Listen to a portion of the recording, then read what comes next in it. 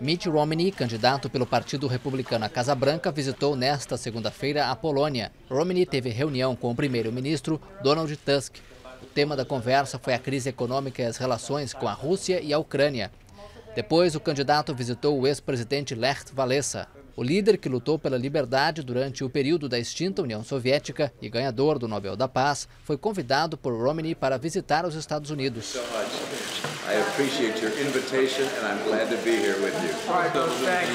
Depois, acompanhado da mulher Anne, o candidato visitou o Memorial da Guerra Fria.